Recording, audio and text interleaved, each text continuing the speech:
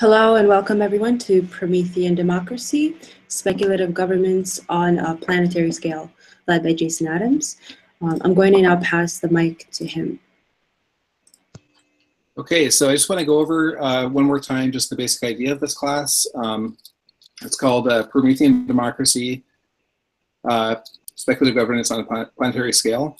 And the idea of the class is that we're trying to, once, I think um, I got a, a, couple responses from people who uh, felt that it was too philosophical, and then I had other people who thought that it was too uh, too practical. Um, and really, what I'm trying to do is is, is both at one at one time uh, in, in the idea of this class.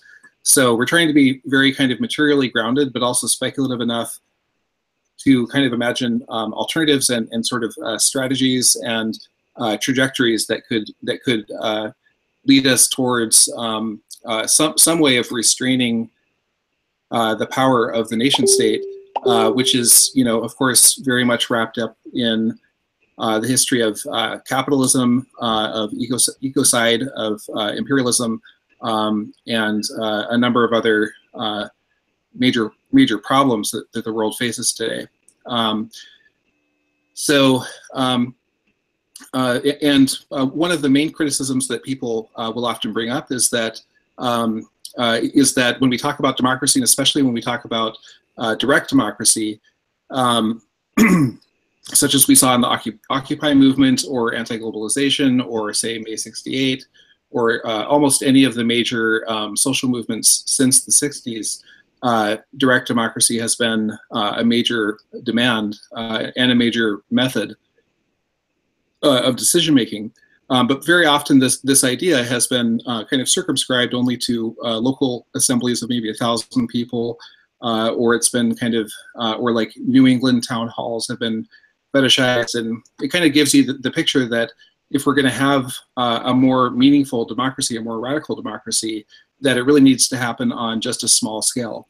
So um, class is to really think uh, how can we retain what is what is good about democracy, what is liberatory about it, um, and emancipatory about it, and yet at the same time scale it up to the level of the planetary in a way that would actually be representative of, of the entirety of the world, and not just the entirety of the world as one, but the multiplicity of the world uh, in the sense of having kind of, you know, proportional representation uh, and uh, things like that um, that could occur.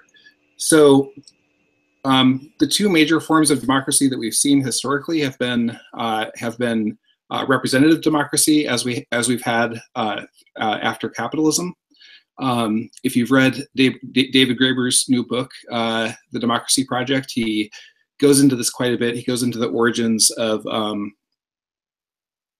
American democracy, and he points out that uh, the whole point of represent, representative democracy was really to create a mixed system of, uh, of aristocracy uh, combined with um, uh, combined with with voting, which is based on popularity. And of course, the only people who can really win an election like that are the aristocracy.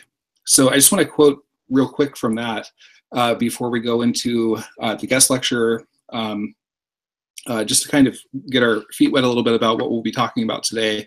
we're not actually reading this book. I think the, the, the the description of this book, um, The Democracy Project, is really fascinating. But when you read it, uh, it's really mostly about Occupy and uh, kind of things like that. It doesn't really do what it claims to do, in my opinion. It doesn't really um, offer that many uh, alternative frameworks um, to consider. But there is a there are a few places where it does in chapter three.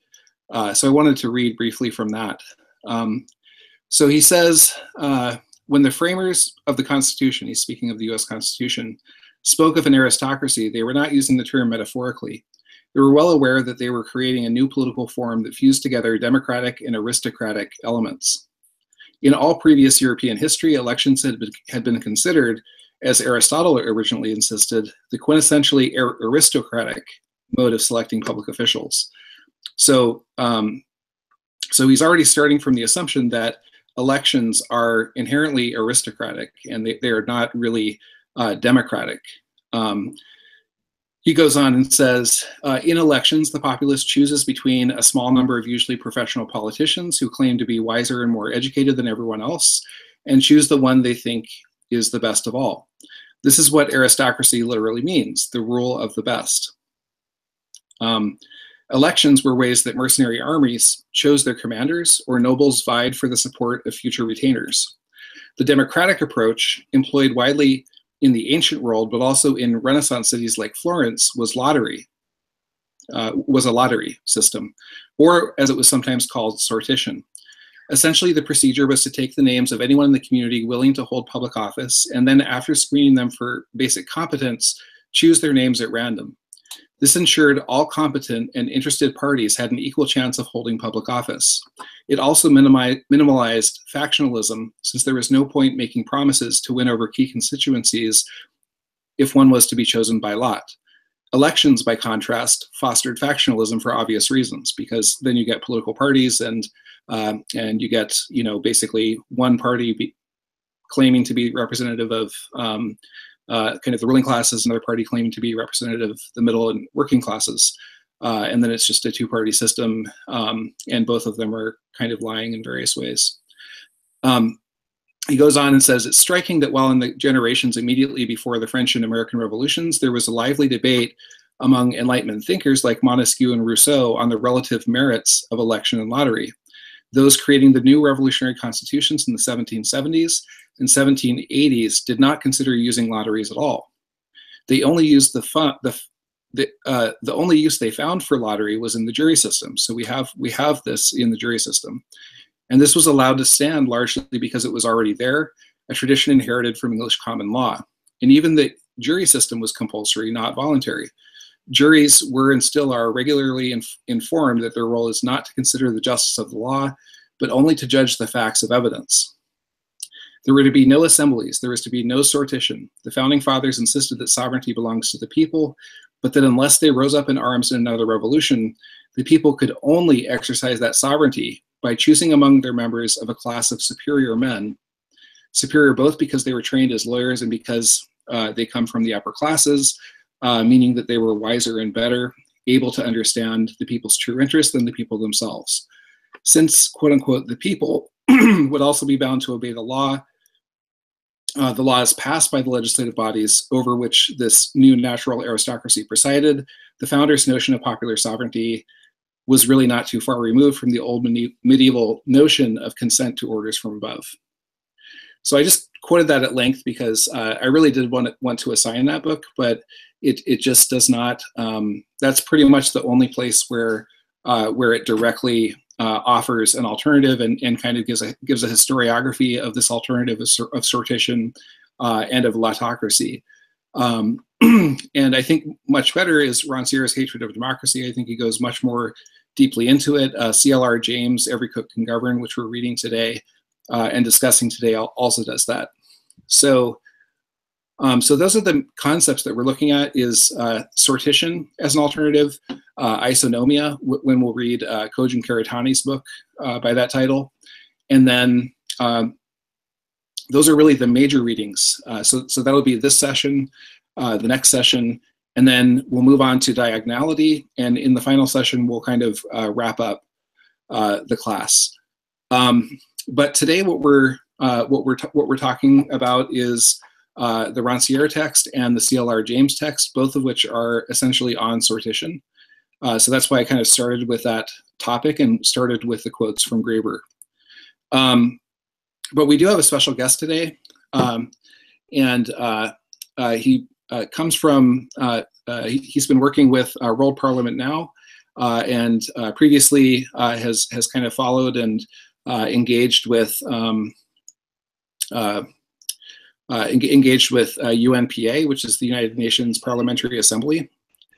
Um, and uh, his name is uh, Fabian R. Elleder, and um, we're really pleased to have, have him here to, to speak. Did I pronounce your name right?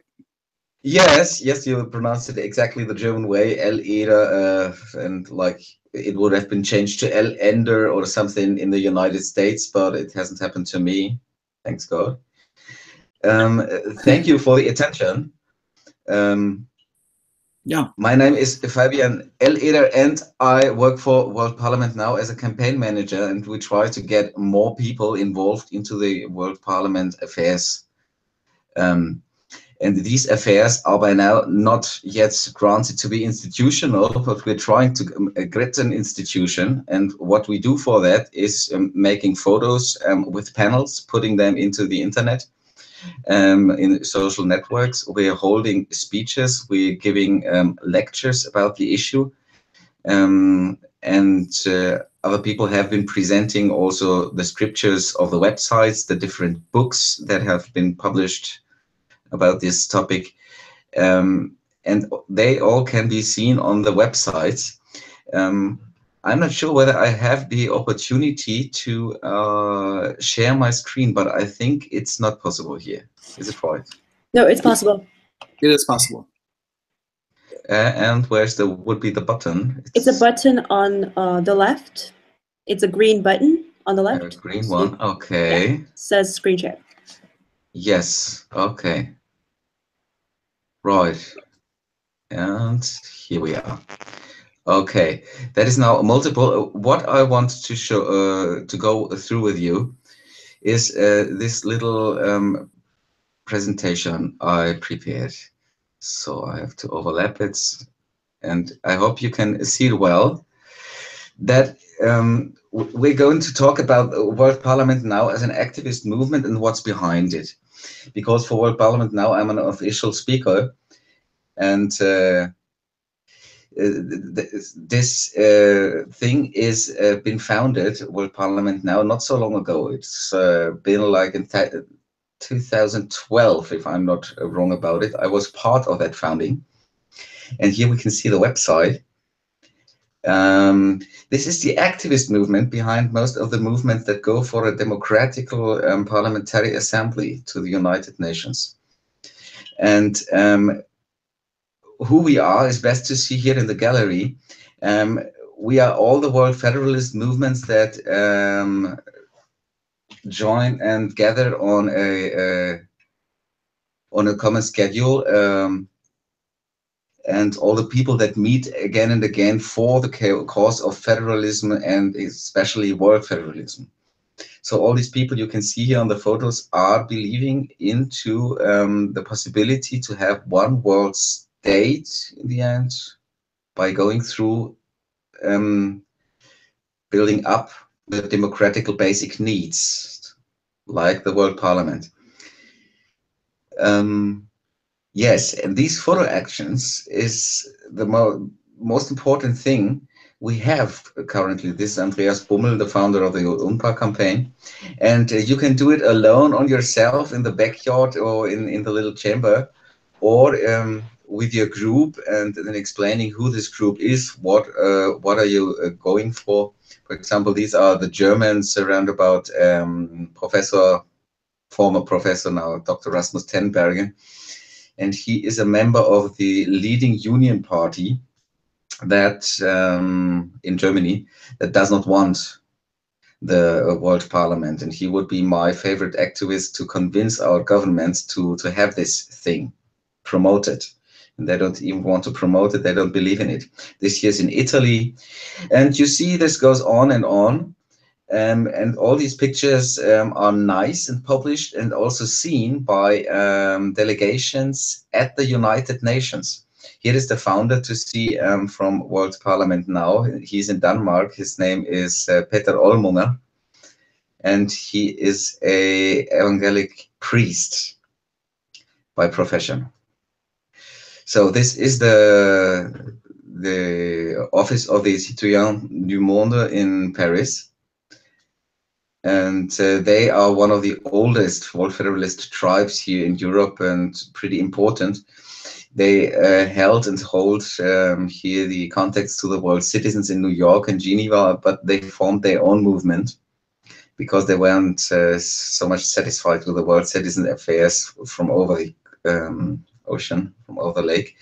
This year is uh, Kongjak, our um, um, most important activist in Thailand. He founded the World Unification Club with uh, its pink T-shirts, and they put pretty much money into that. Um, what they're doing on the former photos, it was to see, is building in the middle of the jungle a World Parliament monument that is the, called the One World Monument and shall rebuild um, the Earth's structure and its geography in a big circle. And uh, this is a spiritual thing for uh, for him, and he hopes that someday the Thailand state will sustain him to to have it much much bigger and a um, education center for uh, for world citizen affairs and for pro, pro world parliament. This year is in Africa. I don't know where actually. Um, this year is in Ventotene. Ventotene is the most important location in Europe for Federalist affairs. That is where the Federalist Manifesto and the European Manifesto have been signed in the 40s. And uh, each year, the uh, young European Federalists have their meetings on Ventotene, also concerning about the issues of a world parliament and not only the European Federal Affairs. So clear to see more photos. I here's together with the whole UNPA campaign. Um, a, a photo. Um, now where I wanted to go. Um, I've also taken a picture of people I just met on the street, like this group of Nepalese engineers, together with World Parliament Now panels, um, that made up a pretty, pretty good photo.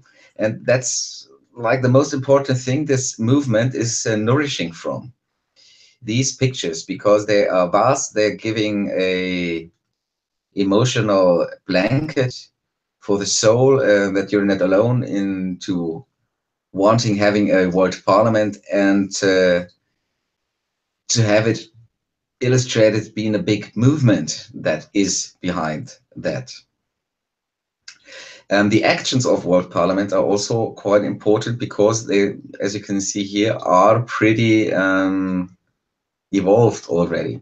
We had only two events in the United States now in the year uh, 2017 it was, and, and we hope it's uh, getting bigger. Um, all these things are per personal, personal encounters and presentations um, in a physical way. So that is World Parliament now, the pure activist uh, side. We have, we have, of course, also a manifesto of World Parliament now, but this manifesto is not as important as um, the manifesto of the UNPA campaign. That's why um, I'm going now to the deeper contents. Um, so the UNPA campaign is not completely World Parliament now. The UNPA campaign was built as a diplomatic campaign to contact all the national um, deputies to the parliaments um, on the earth. And uh, we can see now here on the supporters list um, how many people in which states have already signed. That is here that, that big map on the supporters side of the UNPA campaign. And if we click here on Canada, we can see here on the right that um, 45, 55 members of parliament have uh, subscribed. In the United States, it was only two members of parliament that have subscribed. Mexico, one member of parliament. In Brazil, eight members of parliament. Argentina, 13 members of parliament. Colombia, only one member of parliament. Ecuador, three members of parliament. I cannot tell you um, why so few people have underwritten yet. Um, I guess the issue might have to do with time delay, but it also might have to do with the kind of uh, presenting oneself and the um, pressure one's making. So um, my personal doubt is that uh, we're just simply not present as a movement, tied up, um, and therefore there'd be so few subscribers. The same is here, like if you go to Asia, you'll see that in China we have no supporters, in Mongolia we have three supporters, in Japan, which is traditionally a forceful, big uh, World Federalist movement nation, only three, here Australia six, and India has 18 members of parliament that um, officially sustain the um, UNPA campaign proposal. This proposal is uh, pretty well thought through. Um, here is um, here's the manifesto of it. Where was it? Declaration. we could go through together. This declaration does not um, talk about the technical details. That is more or less here um, the philosophical and politological um, framework for the idea and how it is um, pillowed. I, I just read it to you. The appeal for the establishment of the Parliamentary Assembly at the United Nations. Humanity faces the task of ensuring the survival and well-being of future generations as well as the presentation of natural foundations of life on Earth. We are convinced that in uh, that in order to cope with major challenges such as social disparity, proliferation of weapons of mass destruction, the uh, uh, threat of terrorism and endangerment of global ecosystems, all human beings must engage in a collaborative efforts.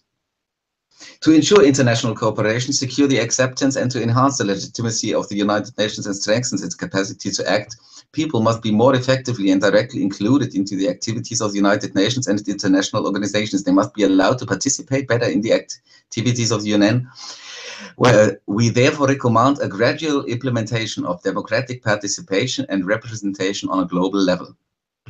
We conceive the establishment of consultative parliamentary assembly at the United Nations as an indispensable step without making a change of the UN Charter necessary in the first step, a crucial link between the UN, the organizations of the UN system, the governments, the national parliaments, and the civil society can be achieved through such an assembly. Such an assembly would not simply be a new institution as a voice of the citizens, such an assembly would be the manifestation and vehicle of a changed consciousness, understanding of net and understanding of national politics the assembly could become a political catalyst for further development of the international system and of international law. It could also uh, be substantially uh, substantially contribute to the United Nations capacity to realize its high objectives and to shape the globalization positively. Um, a parliamentary assembly at the United Nations could initially be composed of national parliamentarians. Step by step, it should be provided with genuine rights of information, participation, and control vis-a-vis -vis in the United Nations on the organizations of the UN system. In the later stage, the assembly could be directly elected. We appeal to the United Nations and the governments of its member states to establish a parliamentary assembly of the United Nations. We call all organizations and decision makers and citizens engaged with the international common interest for supporting this appeal. Yep, that is the appeal. Um, it does not talk about how it would be um, uh, looking out concretely. The charm about the UNPA proposal is that it got a complete uh, idea behind it and a complete structure. These um, technical things of how the parliament would be composed um, how, um, how, many people would elect one deputy? And so can be found in the first publication from 2010 and 2011 in these documents the case of uh, for a United Nations Parliamentary Assembly and the composition that is here for the only technical the composition of a parliamentary assembly at the United Nations.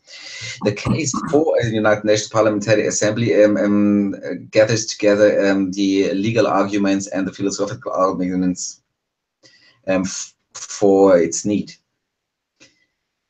Okay, here is the campaign um, pathway, uh, how to make it the uh, in the best way, and this hasn't changed uh, since then. As you see, it is still um, campaigning and working. The main tool of the UNPA campaign, so the vehicle where it goes and where it gathers contacts, is the IPU. The IPU is the oldest World Federalist uh, association on earth. It's called the Interparliamentarian Union. And that is the association of members of parliament that want to go and thrive for a international democracy. You can see the slogan of the Interparliamentarian Union is for democracy for everyone. That includes mankind. Um, and it is typically that uh, most of the IPU members have signed the UNPA campaign, and uh, but not most of the members of national parliaments are members of the IPU. Um, nonetheless, it got a big, big renommee, this association, and uh, with its merits, uh, you can go housing like everywhere and sell your stuff. That is how this more or less works. Um, Andreas Bummel has has his friends there. He also goes to the um, German Association for the United Nations, and they have now their the linkage and uh, are convinced of of uh, this can become true.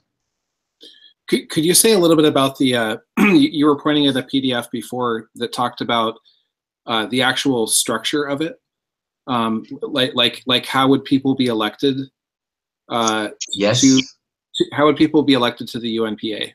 Would it, would it be through um, uh, kind of representative democracy or, uh, and kind of like, I, I, I guess the thing, um, but I'm wondering because we're talking about sortition today, which is a method of selecting.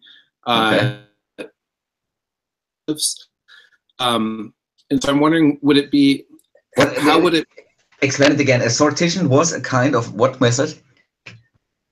It's a it's a it's a method of uh, selecting um, uh, representatives okay. in which in which it's basically by lottery. So it's like mm-hmm. it's very similar to like jury duty. So it's it's it's uh, it's based on the assumption that that everyone is equally fit to govern, everyone is equally mm-hmm. capable of, of governing. So if we really believe that, then um, because one danger that I see is that uh, if if the UNPA continues uh, just kind of scales up uh, what we already have, which is representative democracy on mm-hmm. on a state scale to the global scale, we could easily just end up with more um, with basically the same demographics, the same kind of people who are who are currently in government, which is primarily uh, you know millionaire and above white males.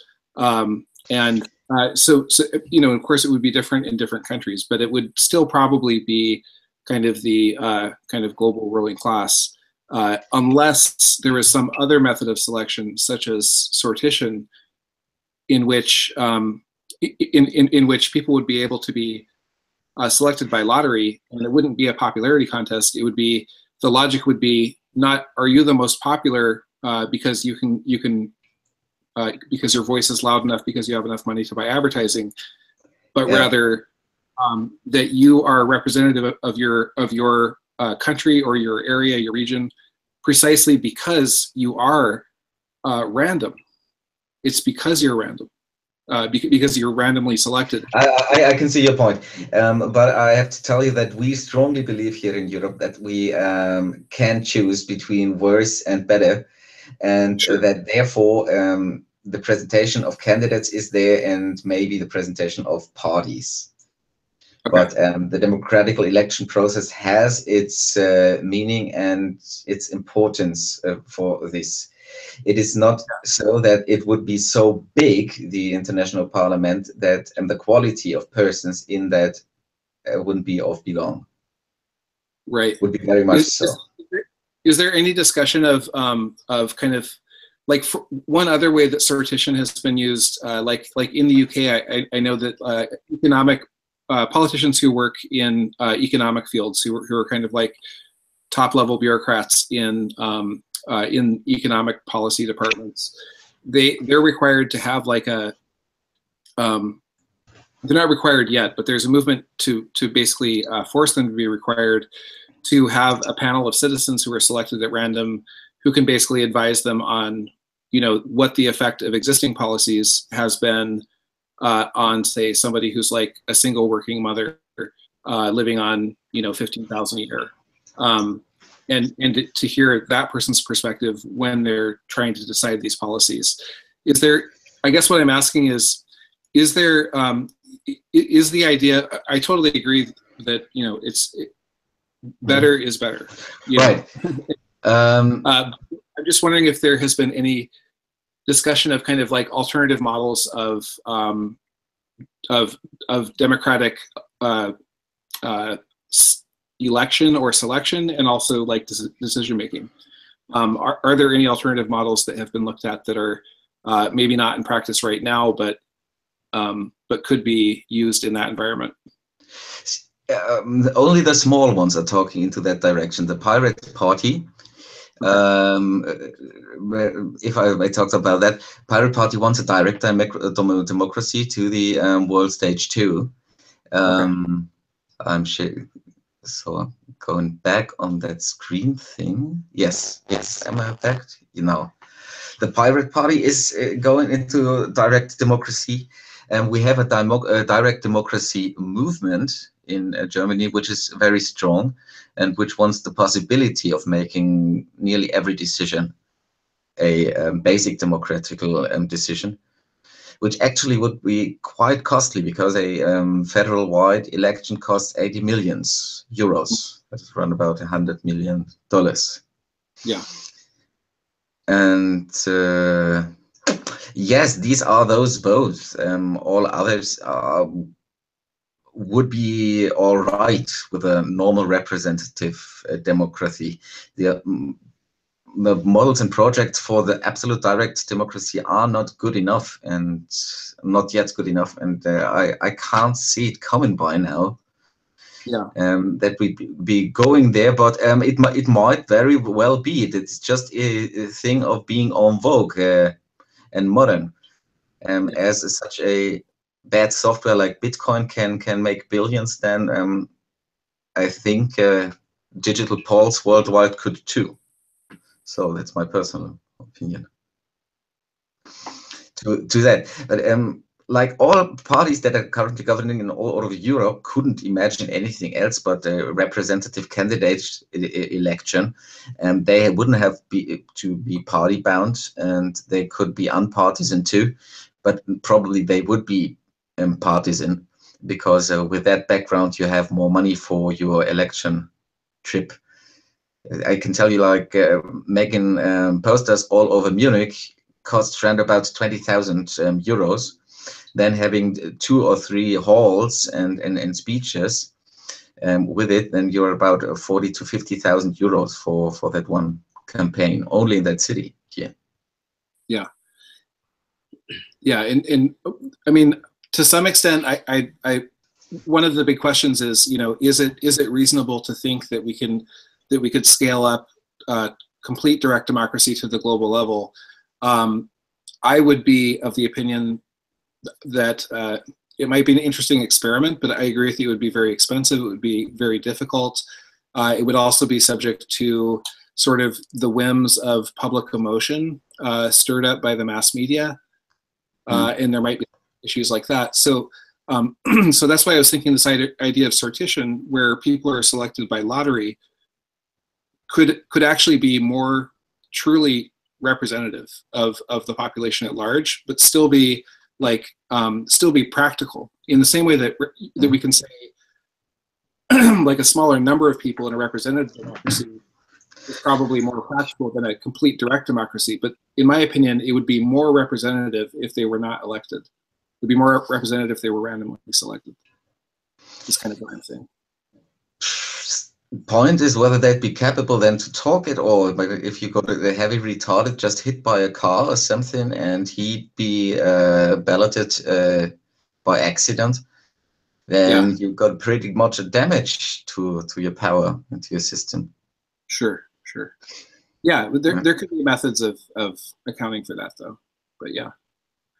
Mm. Um, could you say a little bit about like like like kind of the the relationship between the current UNPA and World Parliament now and sort of the long term like the long term history because uh, for sure there's been talk about this uh, right after World War II with with yeah, Einstein. I'm into that too. Yeah. Uh, yes, um, I, I go back to the sharing of the screens. Okay.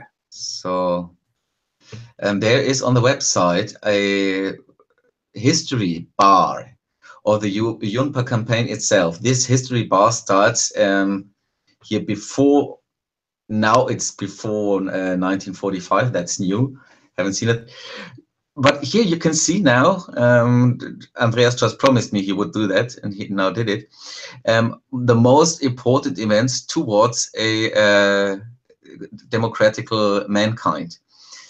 And you have here name dropping Albert Tennyson, a British poet, uh, with his poem Locksley Hall. You might know it. I, I haven't uh, known it, but um, in that time in Biedermeier and in in the 19th century, um, it is said that every every diplomat and most of the people on earth knew that poem by heart. Hmm. And um, it for for my for my personal understanding, it starts not early enough because um, Immanuel Kant has written the uh, Manifest to the Eternal Peace in the years of 7080 or something. And it was already clear after his critics of the clear um, ratio that he'd be working into the direction of a international international parliament. And uh, he was at um, the end of the German classics, uh, Immanuel Kant, and um, the beginning of the early romantics and in this time, um, people had only the opportunity to read, to, to get informed about things. And um, he, there was at that time a big, big movement. Um, this is called the, the German classic and the at all the naturalism and the phenomenological school of, of philosophy. You, you learned about that too. That came afterwards, after, after um, um, Immanuel Kant's uh, scriptures, and they all said that it's um, absolutely undeniable and self-understood that all men have to go to a big mankind union to avoid further dangers and uh, damages. And at these times, from like 77 on to, to 1880, there was never a dispute, never a doubt about these ideas these doubts came to the idea um, only as early as the First World War came. Um, here, I have to see here is the United States, the German peace movement, Bertha von Suttner. What he, what um, Andreas also forgets is the Haga peace conferences. The, the peace conferences of Hague. Um, one moment concerned about building a world state already, including uh, including a police, world state, and uh, was, was it? Yeah, including police, world state, and uh, all uh, government and uh, democracy and this was pushed by um, US president of that time and the Tsar, the Tsar of uh, Russia. And we would have all these things if not the German emperor would have come and said, oh, now the position of Germany is still too little, too small. We need to become an imperialistic uh, nation and then we can join into the world family. That was only the idea of uh, our Wilhelm II we would then started uh, World War First. If he wouldn't have been, we would live in a unified, in a unified mankind since uh, a hundred years because of these guys here that wanted to make this happen. Could you say that one more time? I didn't quite understand. You're saying that uh... that more or less that the, the German emperor alone is is guilty of us not having a a federal world. You that is uh, Tsar Nicholas who was pushing it. Yeah, that that is quite a common thing to know about the German world federalists. Uh, okay. Yeah, going back. Um, but now let's go here to to the history um, we've seen here. Um, that is here printed for the uh, citizens of the United States that um, at a conference in Brussels, the delegation of the United States Congress suggested the establishment of a world parliament. You see, it was at the initiatives of the United States too, to make that 100 years before. Um, but then war came. There was a conference to build a new League of Nations. Then the new League of Nations was built. Um, Henry fought in the midst uh, someone of the war. Someone said uh, we wanted to have a world parliament.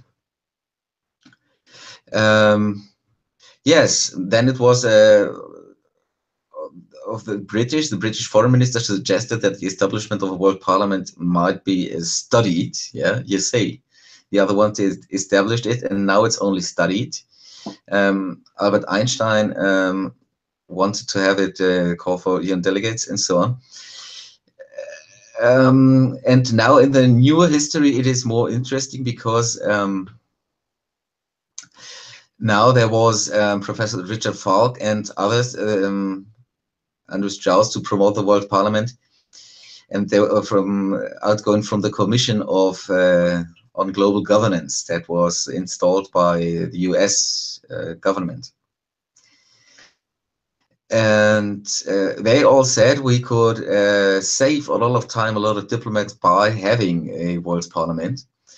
But at the time, um, the US ain't uh, ain't voting for it um, for for different reasons. Um, Václav Havel called for it. Nelson Mandela called for it. Um, the Congress of World Federation of United Nations Association um, called for a UNPA Swiss parliamentarians called for it, and then in 2007, the um, the campaign for a United Nations Parliamentary Assembly has been launched, and uh, with the financial support of the IPU and, and others. And Andreas Bummel um, was uh, then elected the boss of it um, because he published the ideas of the composition and how it could be done and had the best strategical paper on it. Um, yes, uh, the most biggest efforts is that the Pan-African Parliament has called for it. Um, the Green World uh, Congress, that is the whole uh, Green Party of the whole world, is calling for it. And then it's got more modest. Switzerland, the Latin American Parliament, that's not modest, is calling for it. And yes, but there is somehow a little bit drawing out. Now, the Parliamentary Assembly of the Council of Europe is um, also um, calling for United Nations Parliamentary Assembly. That is not bad, but that is not already the Parliament, uh, the European Parliament. The European Parliament calls for a debate on the, the UNPA by now in, in the year 2017. And uh, the other endorsers here from, from the last years are the Seychelles. Um, the, the European Parliament has endorsed it as uh, the resolution on the UN policy. Yes. Um, how, how significant is that? That seems that seems pretty uh, significant. That is pretty significant um, because it, means that the European Commission and is bound, and all European uh, financial liquidities might be took into consideration for following up this proposal. Hmm. That is a cl clear due given from the Parliament to its government to make it so. That's resolution, it's the law. Um, but it's on the EU's UN policy. It's not uh, about Europeans, uh, uh, Europe's policy, uh, policy uh, towards the world. It would be something different. It's also not um, sustaining a campaign or somehow funding a campaign. It's also call. It's only calling the um, its diplomats to um, think about it and to endorse it. And what we would need would be um, big monies for having it TV campaigns, to having it um, adverts in print, press, and and more to put this idea out of the range of being a utopia uh, or utopia to um, into the range of being a needed governmental action. Many politicians by now might be fearing that international federalism is damaging them in their role. And therefore, um, we would need we need more public. It's not the case. Uh, everyone in Europe like likes this. Um, I had here this survey um, open. And we um, this is also financed by the World Federalist Movement and others. And it clearly shows that here in Argentina, Australia, everywhere the people are in favor, except in Russia, um, of having a United Nations Parliamentary Assembly. The Russian president, as far as I know, would, would be um, open to this idea. He was proposing an international currency um, as a basket uh, basket currency to stabilize the other world's currencies, and this would go perfectly hand in hand together with another um, democratic UN institution, I'd say. Um, but I don't know his opinion. So here to come finally somewhere to an end, you have on the UNPA campaigns all the details and all the data about um, the political progress on the diplomatic side. It's uh, very good in pictured, and we have on the World Parliament uh, now.org site uh, the same trial to um, organize the activists and this side would be in the best case then the TV side um, for broadcasting all these cool actions, speeches, and films like the one we're doing now permanently on the internet. We've talked about the um, Interparliamentarian Union, who they are and uh, where they're from. Also important is the World Federalist Movement. They are holding together um, the ideas and giving support, financial support, and um, and others. Currently they are um, more into backing the international court for uh, justice court than um, backing the UNPA campaign because the UNPA campaign shall stand on its own. Um, there are ressentiments against the World Federalist Movement also in the Uni uh, United uh, States, as far as I know. So since then, um, it is good for the UNPA campaign to be alone standing but it's uh, important to know that, of course, the World Federalist Movement is for us Europeans still a moral uh, uh, compass to go to and to consult always into uh, all World Federalist affairs. Now, the UNPA campaign has um, built a new array of uh, associations that is called Democracy Without Borders. And this Democracy Without Borders shall become the rooftop of all the organizations that go for international democracy, as well the activist ones as the diplomatic campaigns. Um, this has been found um, one year ago, roundabout.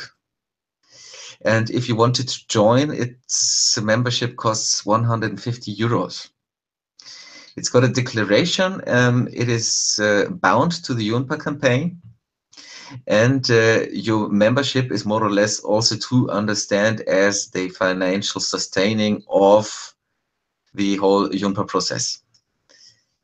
Very important to know, here I see a English link, yeah, there's one, is that there's this book coming, coming up here in 2018 um, a world parliament, governance and democracy in the 21st century. This is, and I have got uh, it already here in the German version, the first and only book that only is about the world parliament, its all history, its arguments for it, and uh, all the questions about its composition. There has never been before a book only about this question. It's got uh, 450 pages or 458 pages and 453, including uh, the bookmarks. And uh, it also is about um, a, in the chapter, I have to, just have to look it up, a basic income on the earth level. It is about currencies. It is about the financement of this project. Um, it is about the dangers that lie ahead um, that are menacing this this project, and also about all the possible arguments against it. It is very, very much a politi uh, politological book because it is um, also treating things like um, conscious um, where was the chapter about uh, conscious, and the inter the integral conscious um, of the world citizen, um, that in in short terms the uh, the skepticism itself uh, only made possible the um, reflection of the human as a political being, and that this reflection automatically leads would lead to um, a cosmopolitic uh, conscious.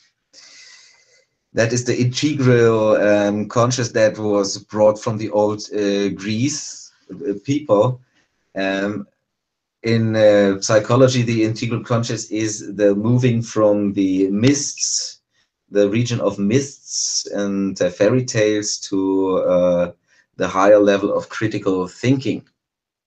And Diogenes of Sinope, um, that lived uh, 400 before Christ, was that one that uh, marked the world of the cosmopolitan.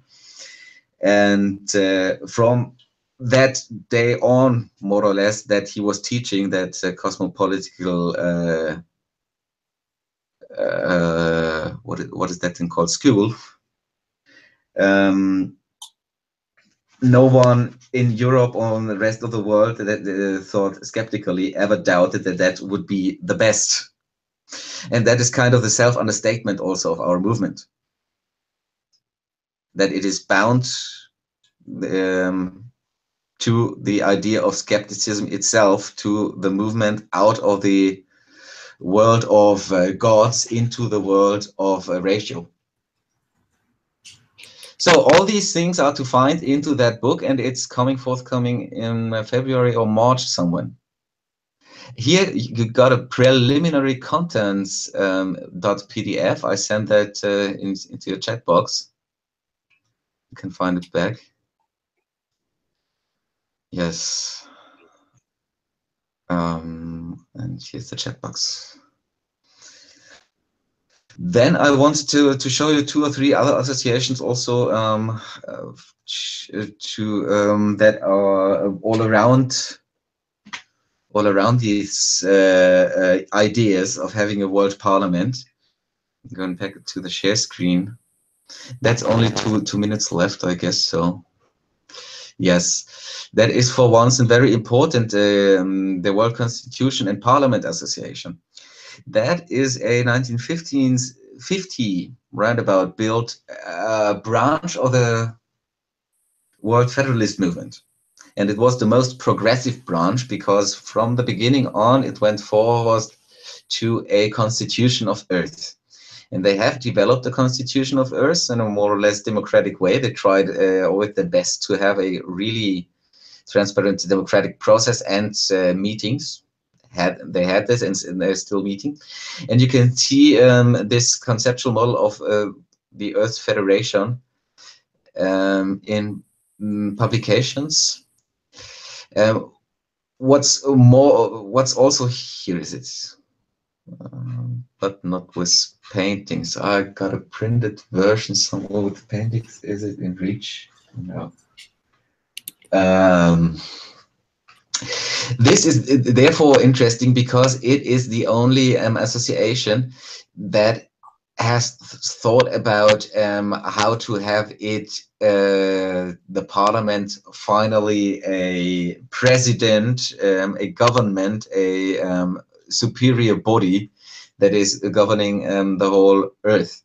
And we are hoping as activists, at least those that are progressive, that the deputies to the Parliament of the United Nations would adopt those ideas too, to um, finally set themselves through with the idea of having it a government, a complete government. Would fall um, apart into three, the House of Peoples, the House of Nations, and the House of counselors where the counselors what's quite interesting is uh, scientists, the House of Nations would be all the elected diplomats from the governments of the nations, and the House of People by Dieu would be elected from people, um, probably then direct candidates in the best case. And they are pretty far uh, reaching, um, but in my opinion, it's uh, still missing a third or, or, maybe the half of all the necessary rulings that would have to be, uh, be part of the competences of the world government to um, make it round, to make it without um, oppositioning um, arguments in that. This is uh, more or less important uh, to know because uh, some people might think these they are oppo oppositioning themselves the, the democratic world parliament and this world government thing. In the end they have not lot to do with each other. They come out of the same corner and this is more idealistic this uh, world uh, world parliament um, movement um, sin, um, in, in comparison to the to the UNPA campaign movement. The UNPA campaign is totally pragmatic and is trying to, to, to campaign and to loudly shout on every marketplace it, it can go. So, um, also interesting is uh, that there are parties like me, I'm a member of that party and a speaker of that party, round about the idea of world federalism. Um, this is here in Germany. Um, we're, we're coming out of the Esperanto movement. Esperanto is very, very important in uh, the world federalism. Um, and in Japan, there is also a party that is uh, concerning only about these uh, questions. That is here, and here's the World Government Institute and the World Party. And uh, it's active, it got quite a lot of members, it got uh, around about 200 or 300, might be more see here alone in Bangladesh how many people World Party Bangladesh are active uh, for this World Federalist uh, Party. And the difference between now this uh, Japanese party and, and uh, the, the German one is that the Japanese go more for the constitution of Earth and the Germans um, from the Esperanto movement coming um, would be also satisfied with having step by step the democratic um, parliament first and then others. I personally would have my party rather than being like uh, the Japanese, but that's another thing. Uh, Could you explain? Would you mind explaining the difference between um, the Japanese model of a, of gov government of Earth versus the other model? Eh, what is the difference? Uh, that it's not models. The Japanese are claiming a constitutional Earth by program, and uh, the Germans are trying to have it diplomatic by saying uh, we want to have all efforts into that direction. Oh, okay. If there's a difference at all, um, might be, you see. Um, so, so the, the difference is that one is uh, one is focused on a strategy of how to get there, the other one is saying is is more focused on like yeah the, the, the, one world part the one world party is more making on harmony and we're all together one or thing and all things will come to a good end finally. And the world party uh, uh, in japan is claiming we need now a world government a president on earth to radically uh, radically clean up so the japanese are much more radical into progressive into these affairs. Um, to, to, what extent would, would would an assembly like this? I'm sorry to inter interrupt you, but um, I just wanted to know if you have uh, thoughts on some of the things that you've mentioned, like universal basic income. Uh, I saw at least one of the things you showed. I think it was um, uh, some some some earlier movement. Uh, I think right after World War II, this movement was very focused on um, abolishing international warfare. Um, so just take those two things, a, a, universal basic income available to every single person on the planet, uh, number one, and then uh, abolishing international warfare entirely. How, how exactly would a world parliament be capable of doing these two things? Other at all. It would be at this moment in the campaign probably bad to overload the idea with having uh, it utterly and ultimately coming to that success from the moment on we bound to a world parliament will have that uh, basic income or something yeah i guess it'll be like that in the end but um, if we tell now like this uh, the republican party of the united states would become panic in um, many conservative parties in Britain would become panic and everyone that is a hollow carrot and uh, would be fearing for for its job for its job in the parliament. Yeah. You see, and uh, that is among the problems we deal with. That is totally practical.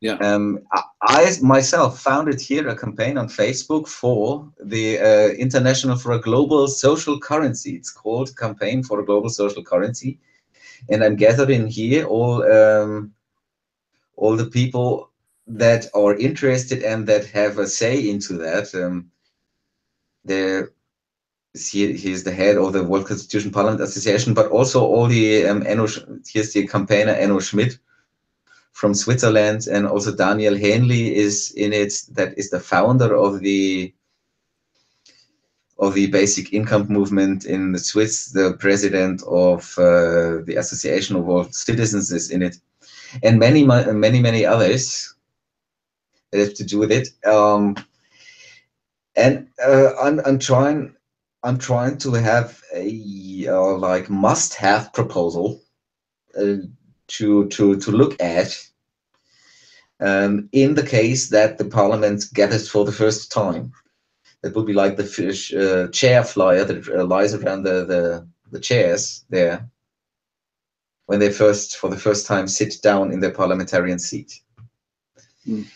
That would be my dream for it. Um, I'm, I'm not sure whether it would be wise to to to campaign for world federalism with a global social currency because since when it would be given out to all the world at once and there'd be no uh, ruling and moreover no institution to uh, keep these rulings uh, on there'd be ecological disaster. Everyone would be buying oil. Everyone would be buying um, houses, pieces of forests. The animals would be dying out within 10 years. Global uh, climate change would, raise and so on. So therefore, this is a sensitive matter um, that not to uh, to drive us into ecological disaster there have to be um, frame conditions to be met with a global social currency. For example, for me, it would have to be more or less digital, that you can stir what to buy and what not to buy, and uh, and so and things like that. Um, I'm pretty sure that my proposal won't be brilliant enough uh, to, to, to, to have it made finally. Um, because the ecological thing is is absolutely that what what I'm cranking on and craving for. Um, how can you pay out money um, without having the earth destroyed? Yeah, uh, so at, at least that much money that really um, gives a Western standard. That would be somewhere for Africa between three, uh, 200 and 300 euros. All nations would have to um, offset their current um, uh, measurements for for salary to an into a new um, uh, pattern uh, that has never been done before and wouldn't be possible to do for for all enterprises at once and would pose simply big big problems so you're saying it would kind of require uh, like a simultaneous global policy shift around for example emissions or um, right exactly so so if uh, because one could see that um, of all the money paid out, twenty percent go into. Uh, I, would have to, to count it out or make it believable, but it's uh, to estimate between ten and thirty percent into fuel only because people want to move to to visit uh, others as they may might have more time maybe they'd be traveling also more um, and at least um, also the economy um, shows that every increase by 10% of the economy um, results in an increase of 20% or 30% of uh, fuel. Consumption. Yeah, and that is that is a big point. That's uh, why in, in, in the best case for me it would exclude all uh, fossil fuels, and that would need a uh, a intelligent CAS, CASA system, machinery, and an intelligent uh, bill, money bill that you have in, hold in your hands. RFID chipped one um, with identity uh, recognition of what is uh, bought and paid and so on. Intelligent money paper. Um, that would be my idea, but I, I don't know um, how uh, quick that could be uh, made.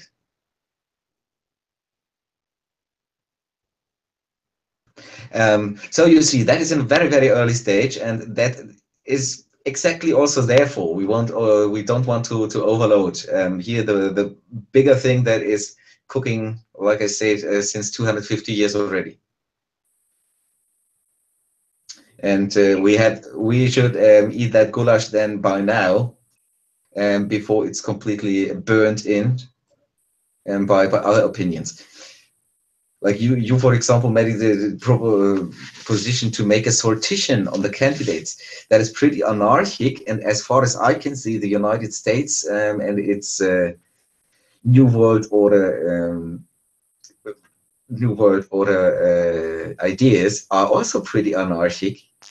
And that is the only, that is somehow the only charm that swaps there over because uh, in, in concrete, and there are no solutions uh, of the from the New World Order that uh, Bush Senior fledged into the microphones and the younger, uh, younger John Walker Bush, or was it Jeff Walker? No, I don't know. They pre-named the younger Bush and then uh, George ran, ran, ran, into the World Trade Centers.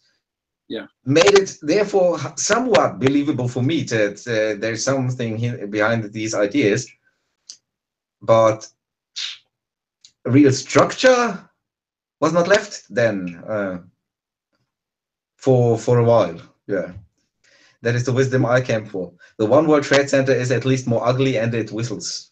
I've heard. what, what what about the uh, what about the question of public opinion? Because that was one thing that really shocked me when I first started looking into this was just how popular this idea is. It uh, in almost every country in the world. Um, I, I looked at public opinion polls uh, about the idea of creating a UN Parliamentary Assembly. Um, and in every single country, really, except for a few, it was it was way over half of the population uh, supported the idea, and that included. What really surprised me is that it included both the UK and the US, with which which both um, you know just uh, adopted the Brexit policy and uh, elected Trump. So, so even in these two countries that we would think it would be the least popular, uh, even in those countries, the majority of people who were polled anyway, if, if the polling was accurate, um, support this idea. So I find that really fascinating, and I, I wonder how how how if that is really true, how how that that uh, basic um, uh, aspect of public opinion uh, already kind of being there for for this idea uh, how can that be mobilized in order to um, move forward and trying trying to achieve it? It has been done since uh, we we seen it like since 1780. You can do that by um, philosophical scriptures. You can do that by activism. You can do that by chants. By uh, um, you can do that with music. Many many songs have been written about uh, one world things um, Introduction. This is, this is, this is essentially, uh, but this is essentially not sharp enough to um, get it, it a place into the uh, into TV.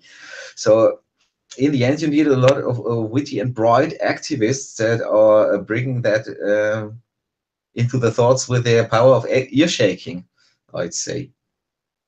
And uh, that that is the thing we are now collecting here from World Parliament Now and from the UNPA campaign.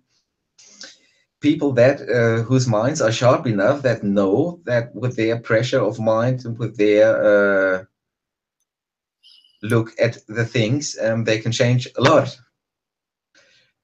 And here in Europe, most people fear also at the side that the United States might be going to unite with the Soviet Union, uh, former Soviet Union, Russia, and the Chinese to overrule the Europeans by saying, "Oh, it was the Europeans, was the whole uh, globalization thing and the whole uh, environmental disaster. So we ran them over, and now we're the goods again."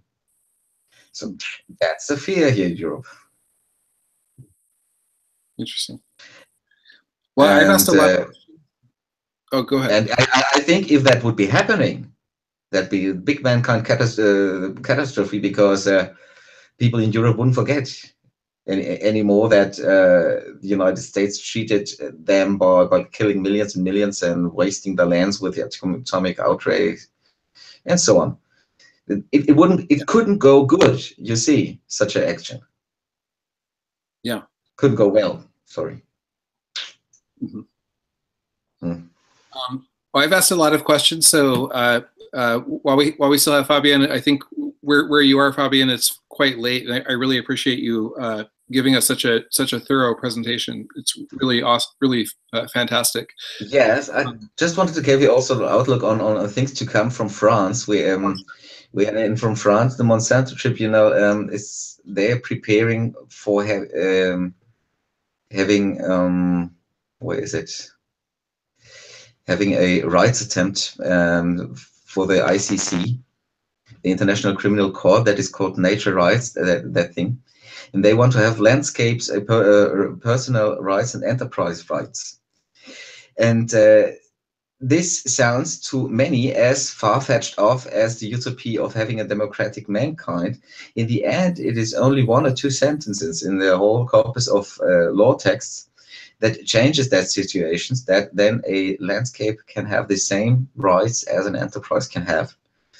And uh, the same case is with the United Nations National Assembly that um, the parliaments would need to adopt only two sentences as a resolution that they sustain this and they'd be legally bound to set this idea through. For Europe, the case, very important, is that the European Parliament has not the right to go over the sovereignty of uh, single nations as long as it's no European Republic yet. And uh, that is where the idea of an international parliament is uh, touching with the European um, Republican idea most of the nations currently are more or less in distance with the idea of a European Republic because um, it sounds to them more chaotic and, and more in disorder than a uh, state would be in comparison. And, and that is ridiculous, of course, because common institutions would bring more order to, uh, to them. Um, the diversity could be uh, saved too.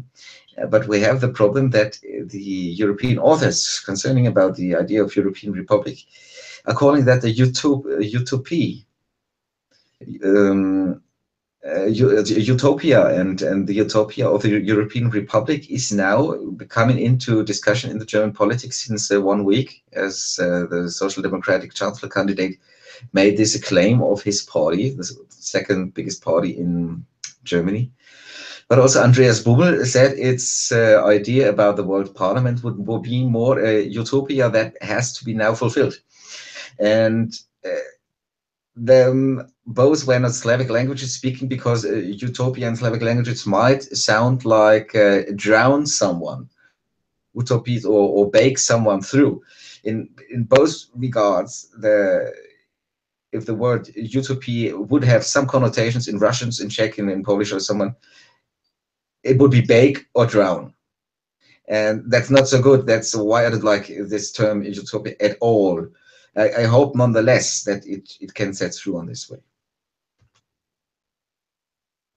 Yes. Thank you. Um, I don't know if Maria wants to kind of uh, start off the questions and facilitate that. Yeah, sure. Actually, we have we specifically have oh, we have uh, Jacob who um, had a question earlier that Jacob Jacob, do you want to go? Sure. Um, so this you, might have have touched on it during the talk, and I might have missed it. Um, and and it's somewhat similar to some of Jason's questions. Um, but so I so I understand the potential for for a lot of good that could occur from sort of a one a, a one world government. Um, as you mentioned, things like um, policies about things like sustainability and those sorts of things. The potential from a one world government uh, far out far surpasses the potential that we currently have in with with the multiplicity of states. Um, but I'm I'm wondering what sort of mechanisms could be put in place to keep this sort of thing from simply scaling up politics as usual.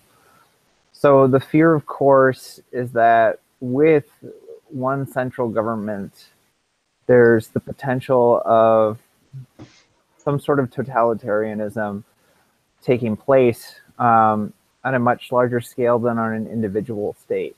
Um, but even more than this sort of totalitarian fear is the fear of corporate interests really taking over the entire thing. So currently, um, individual states are able to implement certain regulations on things like environmental protections. Um, and as we see right now, the United States, for instance, is really getting rid of most of those environmental protections uh, in order to appease industry. Um, but this happens in other countries as well. Uh, Canada, uh, Trudeau last year allowed a number of pipelines that I think he initially said he wasn't going to allow. Um, but but in any case, I'm wondering if if there would be mechanisms to stop this sort of corporate spending that, that could influence policy on, on a global scale because it seems much more dangerous to have a sort of global government taken over by the right wing, which would get rid of any governmental regulation on environmental policy. Because um, if, it, if it comes on a worldwide scale, that's almost even more dangerous than it currently occurs on a, country by country scale. Um, so I'm wondering what sort of mechanisms could be put in place to stop this sort of neoliberal takeover of the of the one world government, and if that's possible at all. The neoliberal attempts are not so much uh, uh, con concerted by by one uh, single force, as far as I can see. We have uh, there are many um, organizations that are um, going into the direction of having it uh, the better solution to be a neoliberal world. Within them um, are mostly the the chefs of the big um, industrial associations. That is true, um, but uh, the reason why their ideology is the neoliberalism is probably that they haven't been taught otherwise and haven't been campaigned into another direction.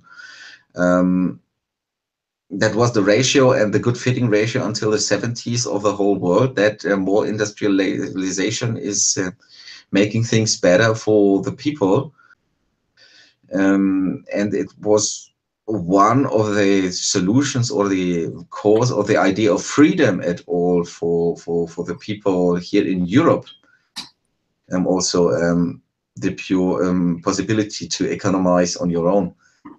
Um, and uh, there, therefore it's it's uh, I, I I wouldn't say uh, that uh, the classical world federalist world citizen here in, in, in Germany and Europe is, is so much the leftist activist into that um, ultimately non-neoliberalistic way um, as uh, as one might think. The um, colleagues here that decide themselves to be only world federalists uh, are often police. They're police cops in uh, in in the north in northern Germany many of them um, then the people that make the Aachen Prize, the people that make the Kant Prize, and the globalization activists themselves haven't found them together here in Europe yet to uh, build a movement for a um, parliamentary association. Um, we so to, to, to come back to um, to breaking the world power of the corporations. Um, we have to pick out, um, as we're doing for nature rights and anti-ecocide, it's another movement I wanted to show you afterwards. Um, we have to pick out the single corporations, their single crime, and uh, sue them in court. There's no other way.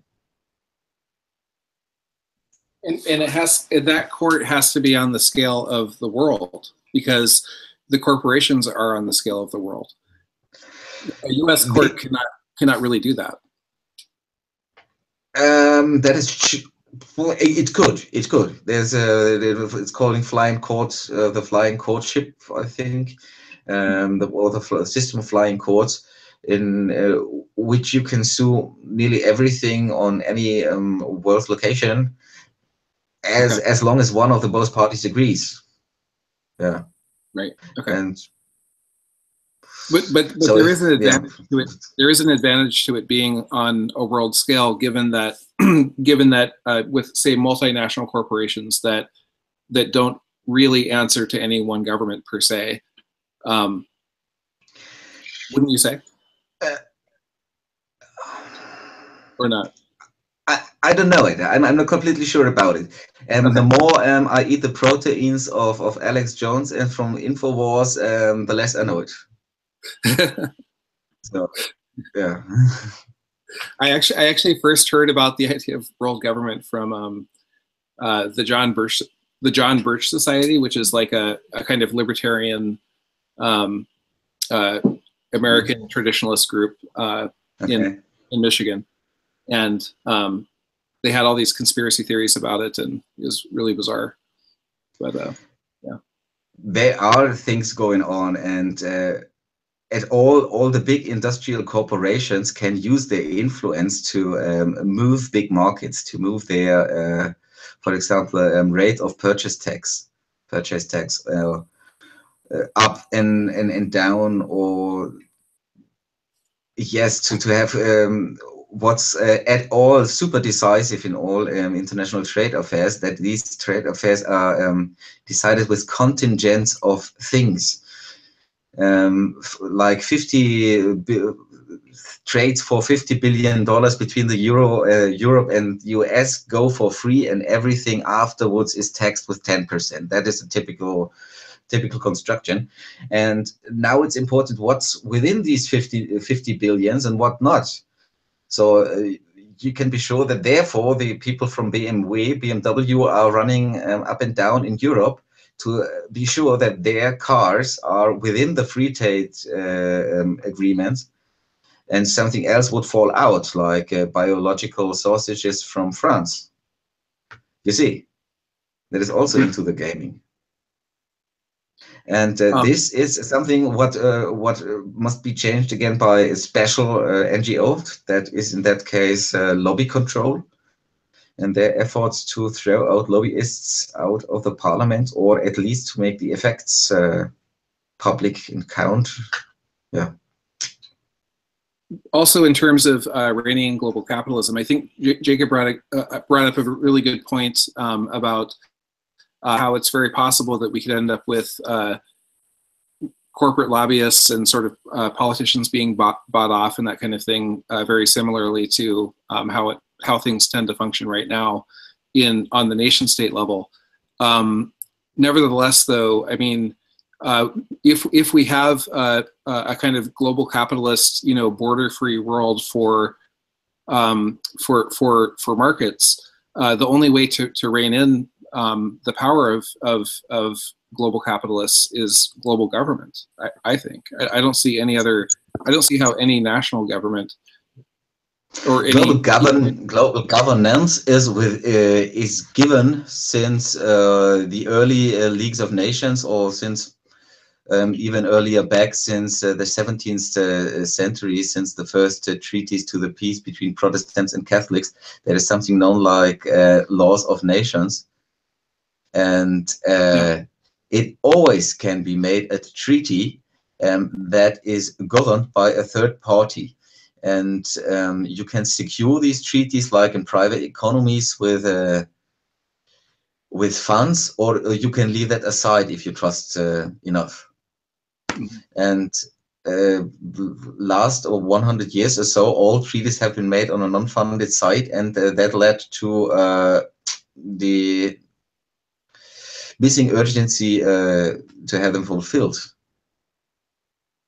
And i'd say for sure we need something more power and more steam to set them through. Um, and to have this we uh, have to uh, be um, more on the law side. And that is why also the law associations in world federalisms are so um, overwhelmingly important. ICAN is the international campaign um, against nuclear wars, but the um, people behind it are the lawyers against uh, nuclear wars. Um, also in the development world, the people most trusted uh, in their correspondences are the Médecins Sans Frontières, um, the um, Doctors Without Borders. And th without those super believable uh, um, correspondees, you couldn't go for a law case. That's so simple. And uh, the media are growing together, and uh, the internet is bringing all this information um, available. And the flying law courts makes it possible then to sue a, for example, the New Guinea um, palm oil plantations. You could sue at your local village's court. You could do so. You simply don't know, perhaps. Um, you, you you'd have to pick it out in some relevance, of course, to the United States, like uh, than to sue a McDonald's or something. But it could uh, bring you a good job. Uh, we have a question from uh, Fujio. Yes. Uh, thank you for uh, for thank you for um, uh, being here with us. Uh, my question would be in terms, uh, you had mentioned uh, possibilities or some thoughts around uh, global currency and uh, universal income. Has any thought been given to a a society or world that is not based on a monetary economy? Um, even in Utopia by Thomas Morris, that is a fictive world, the money plays a role. Uh, I wouldn't actually know even a fictive uh, book about a world without having money. The World uh, Parliament, Constitution Parliament Association has a time money currency that is about uh, how long you have to work to gain one unit of this currency it is a currency at all. And um, a world without money would be one where no money would be needed. As an old Trekkie, um, that is the replicator, what's needed then, and uh, what else was needed. A lot of agreements over land, housing, medical services, a lot, and the replication machine. yeah, then it, then it could be done. But um, uh, up to up to this point, it would be then certainly total. It would be um, socialism, total socialism, and um, that was the idea behind socialism. That a world without property, a world without money, is uh, there. Everything belongs to everyone, and the money is only the counting unit that um, does order you into your role into socialism. So therefore, um, socialism long time claimed that they had no money at all they were driving an economy without money. At least in the beginning, also Stalin was a fan of this of this theory. Then perhaps it is more or less the our change in attitude towards towards money, or the what? How do you how do you accommodate for uh, greed, which is somewhat of an seems to be a natural propensity of ours.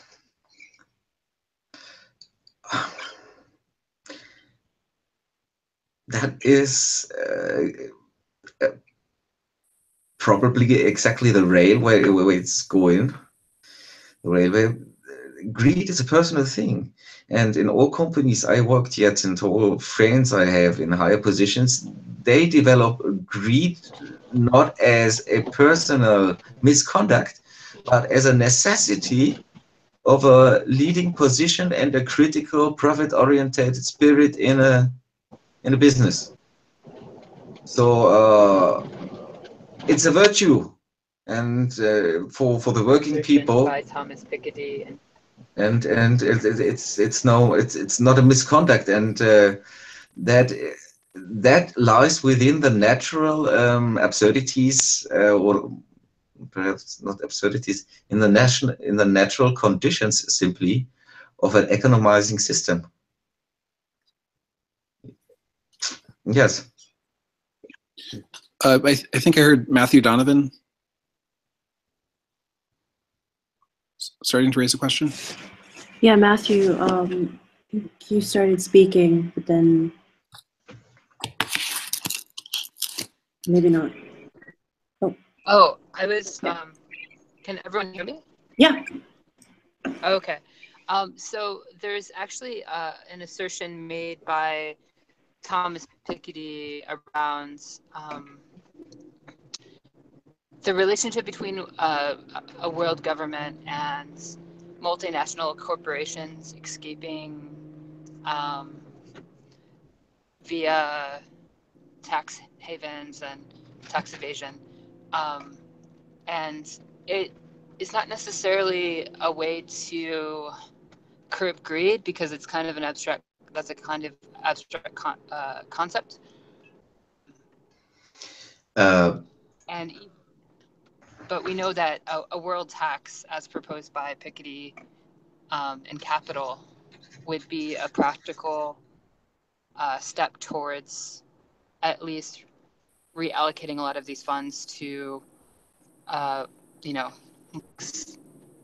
and that's another uh, assertion for why the world, one world government would could be potential. But even Piketty admits how far off this would be. Does he actually mention world government? Because I always wonder when I hear that that type of thing, a, a global tax on speculation or, or whatever it is. Um, when people say that kind of thing, what entity are they imagining imposing this? It's it it seems like it has to be a world government, but I, I don't know. Maybe it doesn't have to be. Are you asking if uh, Thomas Piketty is pr- proposing this with or without a world government? Was that the question? Oh, um, he actually doesn't um, world government, but I think that for it to act, for it to materialize, there would have to be a world government. Um, yeah. But he says even in the, the you know divided nation state and the present way things are now, that it seems impossible, but he doesn't really know how it could be materialized. But I think everyone here would probably agree that if we could move towards the, the world government, that it would be a potential. Mm-hmm. But right now, it has there's no potential for it. I've got Piketty here, and I've read him, and Piketty is more making the um, the ideological point that the um, economical system cannot move outwards of this agreed uh, self-sustaining circles and, and self-pushing up circles and that it needs to develop more and more greed um, to um, be economizable. I um, I'm I'm not not yet perfectly sure whether it's uh, um, the argument that will be adopted by um, the plurality of all the people, the majority. Um, and I'm still yes, and my main concern is what will be the argument that most of the people will swallow the first and like to like to uh, uh, repeat. And I think such an argument is more basic income, the carrots given, uh, than the complexities of all economized uh, products on earth. And uh, yes, that is why I, I don't like Piketty um, that that much. He has made um, the point, um, and it, it's absolutely agreed among all philosophers and politologists here, also in Europe, that um, the um, economy is driven by profit, a, a non-stoppable uh, human-eating um, empire that will be destroying nature. And that is since Piketty, no doubt anymore. And also among more or less the conservative people. That is what European uh, philosophy schools could could do with it. But we still need the um, yeah beat to death argument for our cause. And I guess this will be something like um, universal basic income. Um, and this something is not universal uh, universal basic income by itself, but uh, universal um, general health care and uh, existential basic needs coverage, like a social system and the health care. And these could be the first steps to um, a working international basic income or better international social system than called. And the universal international healthcare is, I heard hardly and seldomly about it. Uh, I haven't uh, read any publication about it yet to give that such a kind of thing away for free.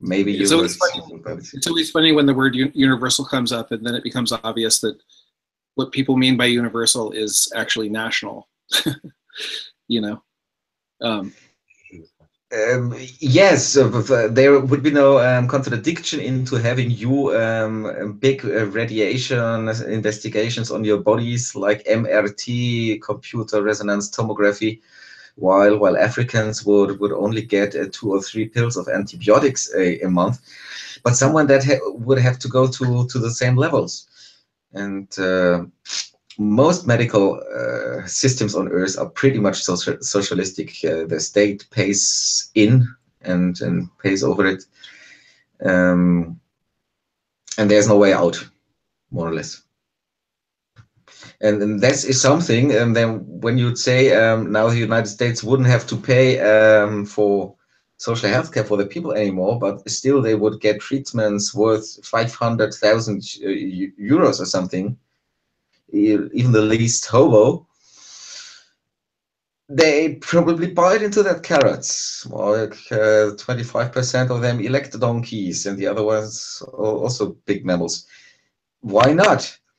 And uh, you would have to bring that together with uh, the proposals of uh, the healthcare to to the other states that don't have yet such a big system because it would be looking ori if in the united states 80 billions would be paid out or even more probably five 300 to 500 billions could be paid out into that thing um, while at the same time in rwanda or in south africa only 500 millions could be paid out at all because there are no doctors that would be looking alright, but um, one have to swallow that toad, and uh, afterwards good. And I, in, into one have to, to to think into that direction. What is the the um, best, uh, yeah, the hottest dog, the hottest hot dog in New York? Like, yeah, what is the thing that everyone wants to eat? We're international community, and uh, yeah, also the guts for wokes and um, culture is so totally different um, then one have to think only in the thing like positive, negative. Uh, positive is something to enchant for, to um, to vibe with. Negative is something to beat, to fight against. But uh, fighting is uncultural. It's forbidden by police. So you have to stick with a positive thing to keep up a global conscious in anyhow. That's my wisdom after like 15 years into into that these affairs. Or what would you say? Would would you uh, like serve as Americans Piketty and then uh, strike the social uh, socialist movement of the United States, make it the Council Republic of uh, Portland or Seattle? I, would like to. I'd like to see that. Would be.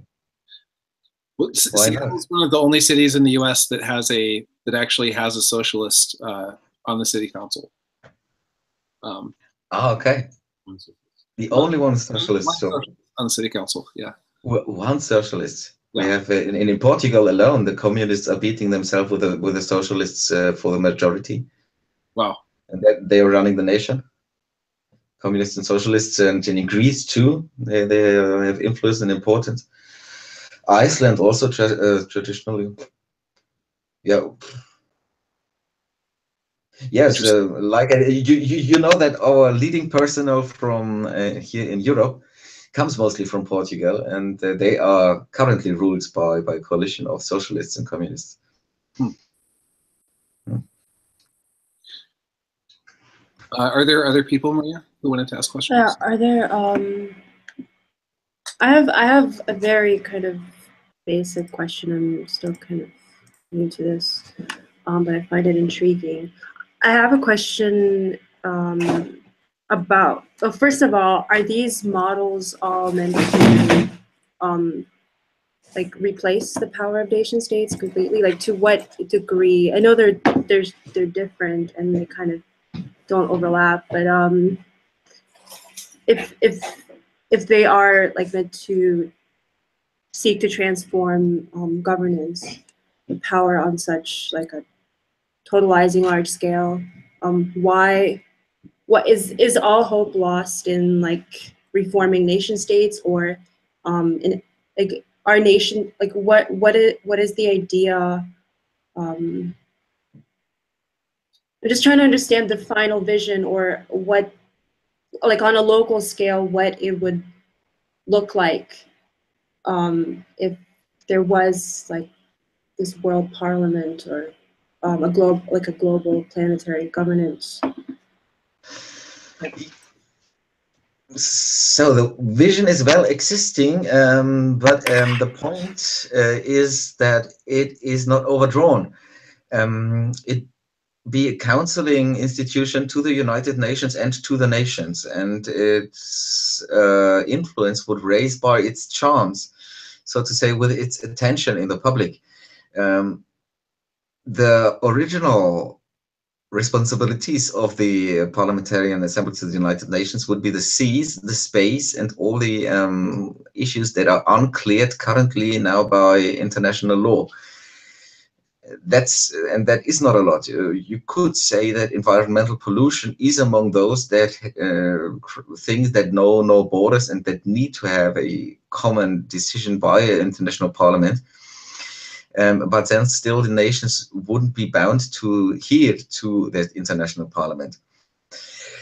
Wisdom goes uh, into that situation that very probably the parliamentarian deputies would conspire together to find actions to make themselves heard with initiatives um, that are inspiring or that are um, testing people's minds uh, in a way that they come into discussion.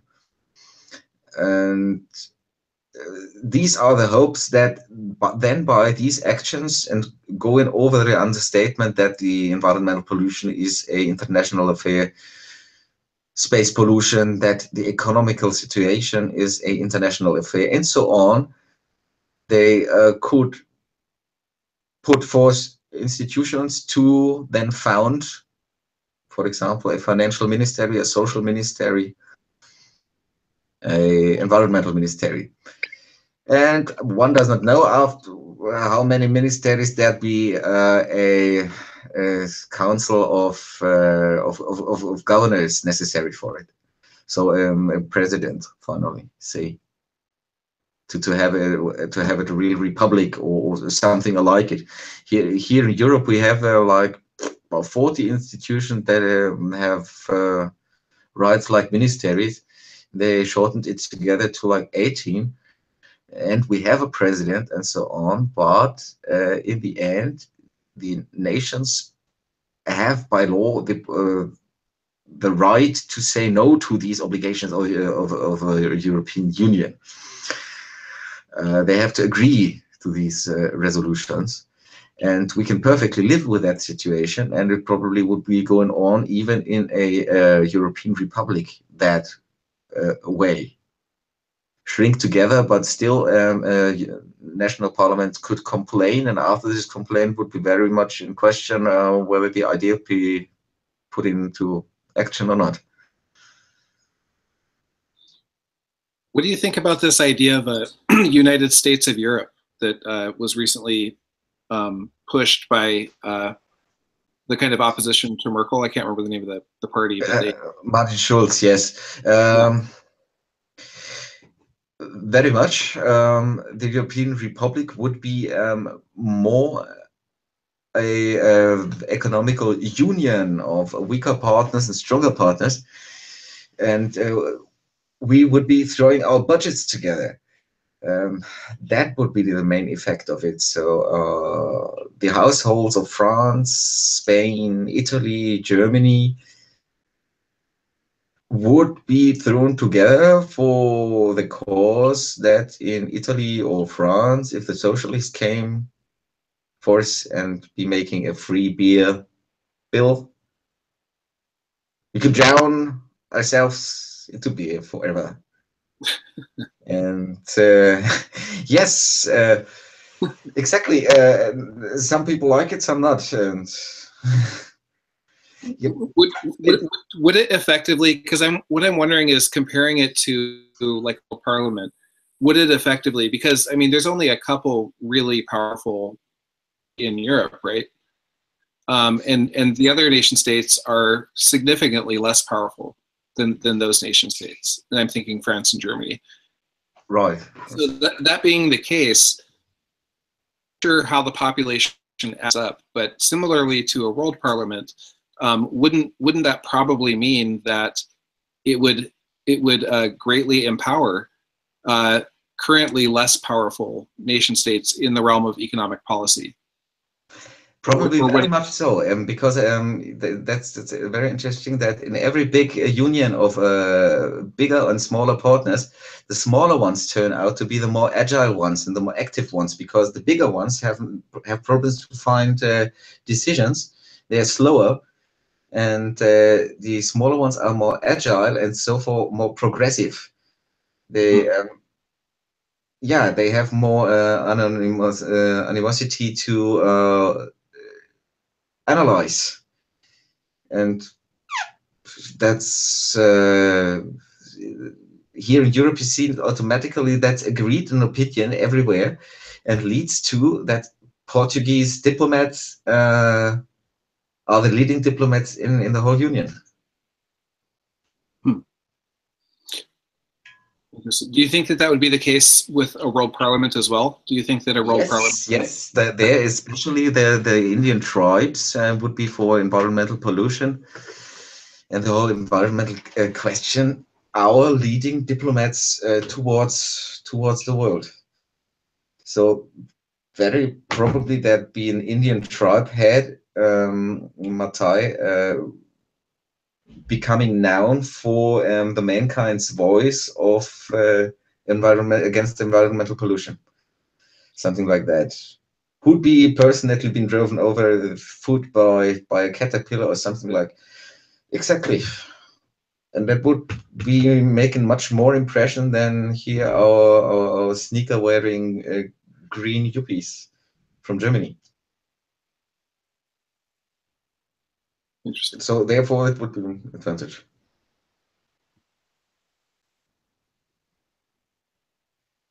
Um, Meredith, do do you want to speak? So, um, circles was something that was floated a few years ago. Um, it's the idea that everyone has their own personal cryptocurrency or currency, and that you transact with one another, forming these sort of circles. And no one really spoke about it. I mean, I think I, I thought it was an interesting idea, but no one really spoke about it. Um, and then all of a sudden, recently, probably because of the um, crazy uh, price in in in Bitcoin and, Ether and Litecoin, this is this has become. I'm, I'm seeing this being spoken about again in sort of tech circles. And in, if you look at their GitHub repository, people are people are starting to basically contribute to the code base again. Um, but uh, it's one way where you can sort of like talk about having a global economy, a global currency, but yet a personalized currency. Um, I think there was this. I guess this was in response to the conversation that started at I guess nine forty. Posted that. Um, but you know, but but but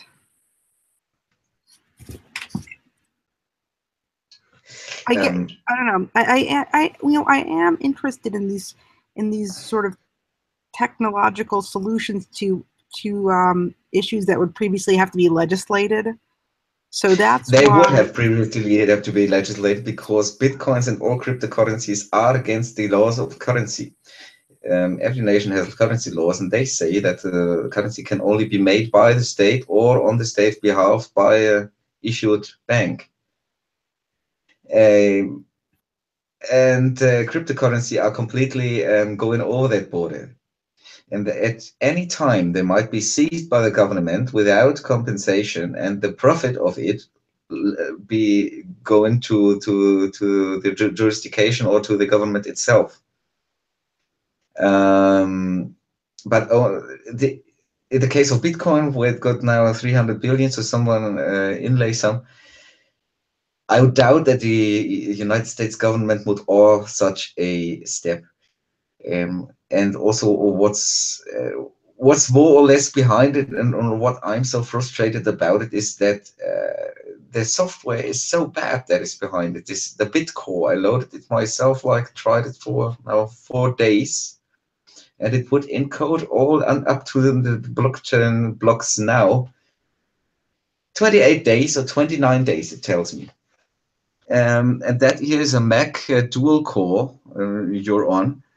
And it, it, it means that the whole cryptification to get the last crypto key takes me 29 days to then be um, um, able to make trades on, on, on the base of the newest uh, uh, crypto uh, newest crypto signing. The software is rock old. The software is, I, I think I know it from the year 2005, although it's uh, not official, and has never been um, never been modified. And that is what I wonder about Bitcoin. Every every other cryptocurrency is built on that Bitcore in the end, and this Bitcore is made for maximum 10,000 people that will share currency with each other. So now every new cryptocurrency has the necessity to go on the local sphere to uh, if, if it uses the um, blockchain um, in, in the classical way because the blockchain can only bear a limited number of people otherwise its complexity explodes and leads to energy consumption and and and uh, counting times that are not affordable yeah uh, and so I, I, the, the technique is too bad. It was inspiring. The, the big thing about cryptocurrencies, it, it was inspiring us to these big, big new ideas about money that it could look every kind of way.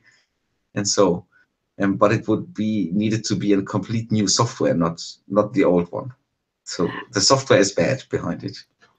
I mean, one of the things that, I, that interests me the most about this, and this could be sort of techno utopian, is that you no longer I mean, you can, so for example, like energy consumption, you can sort of automatically allocate resources in the form of a cryptocurrency depending on certain rules to certain areas. So, you know, if, you know, if there, and I don't know how you would encode this in your algorithm, in one's algorithm, but, you know, rather than having, rather than legislating it, I mean, you could basically have legislators create the algorithm for distributing money essentially rather than legislating laws. I, I, like the idea of something that's automatically implemented, not needing an executive branch of government. So, what was the question? Missed like, the question. What, how, how, are you going to execute the laws of the glo- of the global government? The UN resolutions um, are now executed by uh, yeah dismissing uh, one nation to the other uh, each other um, as as being somehow yes so they they're coming up with force terms and um, violations of diplomacy and uh, that is the strafing that is maximum in, in, in maximum going on. But will there be like a global police force? I mean how is it going to be implemented? There is I mean, a, there is an international court already. There's an international court for economic uh, things uh, too, that is placed in in in Europe. Um, currently, it is like that. Um, as soon as it goes over a sum of some billions, um, each court system uh, tries to tries to uh, treat the old nation better than the other, and that is among the problems. Um, to gain their objectivity, we would have to need a big international court systems with layings into each nations that then would be probably costing uh, five to 10 billion euros or, or even more. We would have to build more court buildings worldwide to each nation, two or three, be 600 court buildings, uh, employees, and so on. It would rather go over 50 to 100 billion um, dollars to just finance finance that. So that hangs together. And we need to have the agreement that we have uh, a UN resolution law system that is law put uh, put into force by uh, law and can be sued theoretically by the um, International Chamber of Commerce, the, the court there. Yes, and uh, so there was another, the Sea Court, the International um, Court for Transportation and Products. It's another one.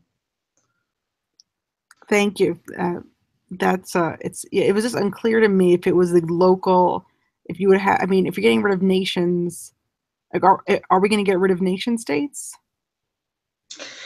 Yes, very probably so in the end, um, but only um, through exchanges and uh, through uh, the world citizen history itself.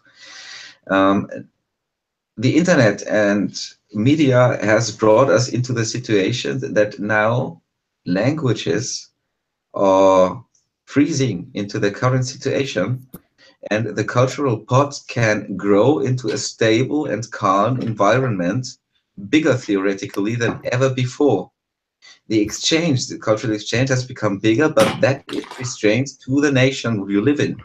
And uh, uh, we only the internet communication as we do it now to speak also in foreign languages will enable you to uh, to uh, really become a believable world citizen that is not thinking about the um, advantages of his own nation first. If I, I, for example, speak pretty pretty well Chinese, can speak Czech, could make this conversation also in France, French, and uh, that makes you then um, halfway a person that is believable for not only taking um, advantages to your own nation that is what's needed also. So then wouldn't that bring in the the idea of, of universal education as well? Uh, yes, that comes with it. Uh, pupils exchanges, language exchanges, longer time, um, longer time in school in universities would be absolutely in the sense of the world parliament and the coming up government or ecological government of earth. 100% because so, the nervous system works like that everything you know you'd uh, you wouldn't know you wouldn't eat and everything you know uh, would uh, probably fall among those potential victims to be eaten uh, intellectually at least and wouldn't that include, well, wouldn't the thought of a global global education also provide room for transdisciplinaryism? Which disciplines would be the question? I me me personally i had my enlightenments with simply learning languages. If you, if you speak quite well chinese if you french or another language i'd say apart from like if you speak five languages fluently you you come into a set of mind where it doesn't matter anymore which which language you speak. And and that is something that um, that really puts you then among the artists of speaking. And all human development should be orientated alongside of arts and uh, that is literature, speaking, um, music, dancing, um, the control of your own body, sports, um, and only those things can give you a direct traction of who another person is, what he's striving for, and yes, and, and what he would be doing in the end if you elected him. So that, yeah, we need a lot of uh, exchanges. I'd, I'd be exchanging with Tonga and Samoa for years, I can tell you. Yup. Was that joke too much? Nobody answering?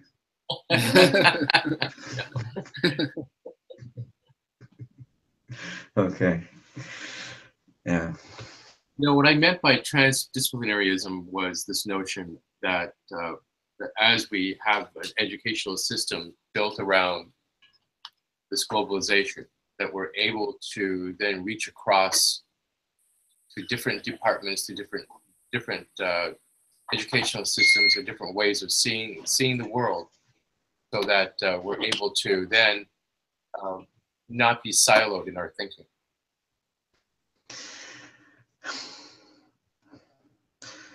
Um, Earth, Earth is really a magical place to to the people who've been around, and um, you should have been traveled to all the continents before um, making your your judgment of of what is even in your own head or in the head of the others. It's also well connected, um, the minds of the people, um, that one is wondering. And uh, the most awking thing, the biggest awe you can, you can find is if you can see and feel this connection, but the actors of the connections wouldn't be aware of and instead be falling into war against each other, rotting them out, extincting them completely, destroying the soil, the earth. That is the thing that shall not happen. That uh, over the overwhelming strong connection and the unconscious about it, we'd be extincting ourselves because we'd be saying um, the other one is copying me, the other one is, uh, is telling me silly or something.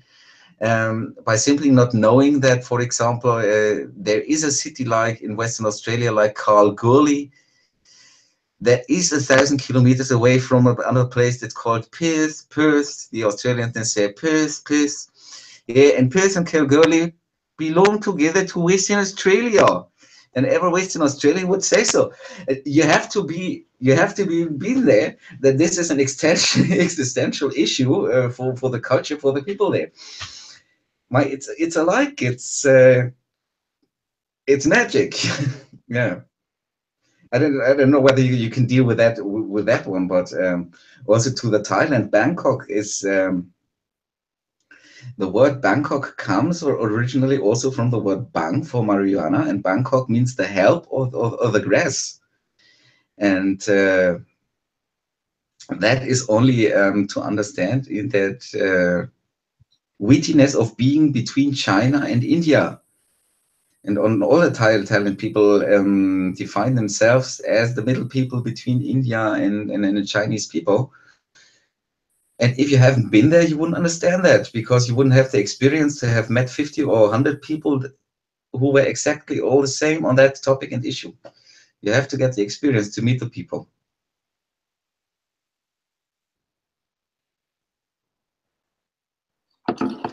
And that is why we need exchanges. How to go there by electric railway, not by plane, and so that all would have to be solved also or then by, by solar ships? These are all good questions. Maybe we could try to get some people who haven't spoken yet, like uh, like maybe Artem or uh, Eduardo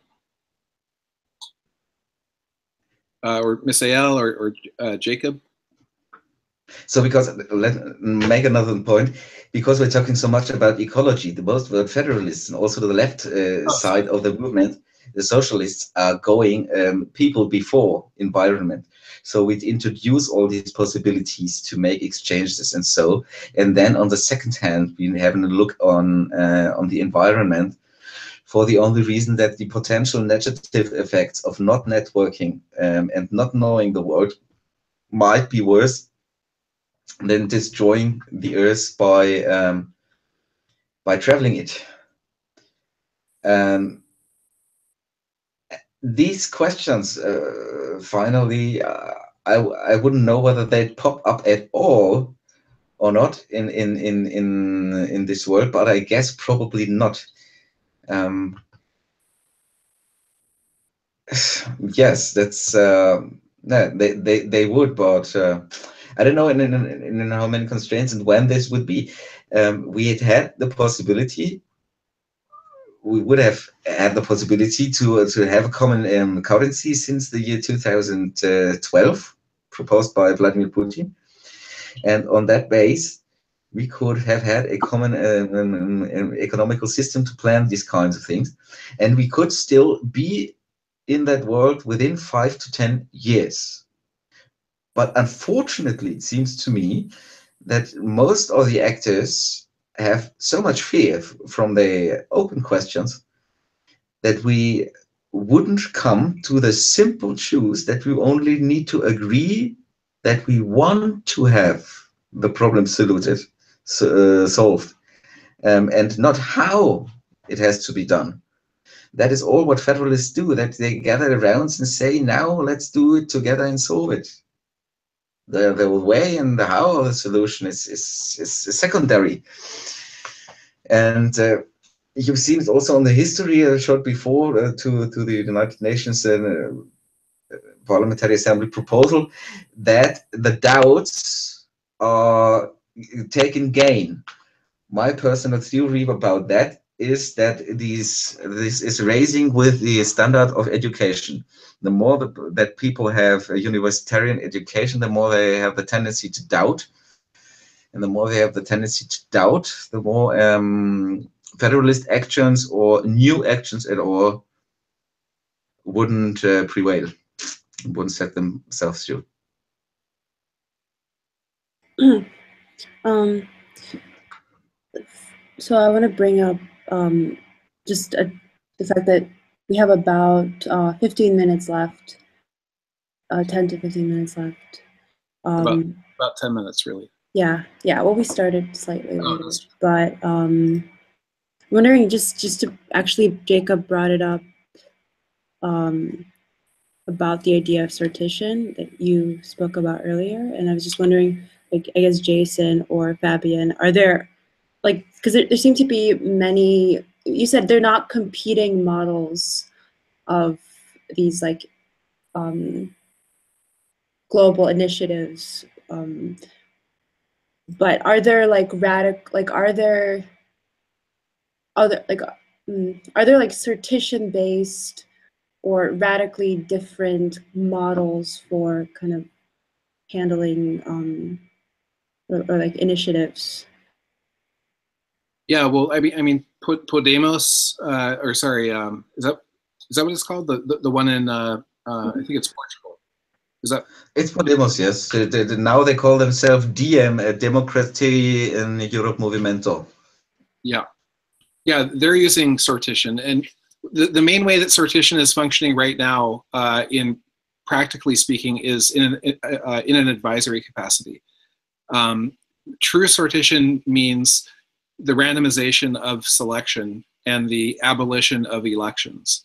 Um, but but but there's kind of a modified version of it that's happening to create basically uh, advisory panels to um, to formulate policy, whether it's economic policy, policies. So Podemos is kind of like the version of Occupy.